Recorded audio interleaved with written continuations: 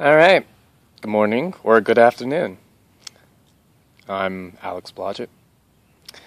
And I'm kind of uh, lounging out after the post interview. I figured I'd give a little bit of my thoughts after the interview that Monica has bestowed upon me and given me. Um, the AKA Defender of Mankind, in which she is. Another Alex. Yeah, that's what I'm talking about. Yeah. Um, I'm just saying that actually I'm grateful again. I'm grateful to anybody who's responding. I'm grateful to those that actually are pushing it out there, though they're doing it anonymously. What's to come is um, maybe small, maybe nothing at all. maybe I'm making a big deal out of anything. I, I, I have no idea. But I do know is that actually I'm coming across complications. I have less than 21 days to put in a counterclaim.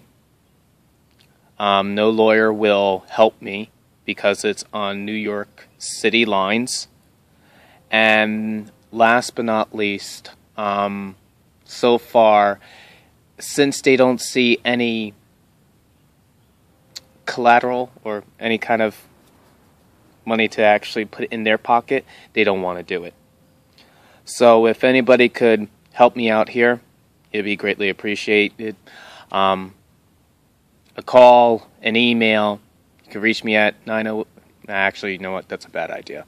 Um, reach me on my email, which is gett26. That's G E T T 26 at AOL.com.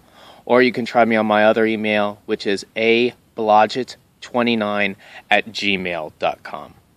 That's A Blodgett, B L O D as in dog, G E T T.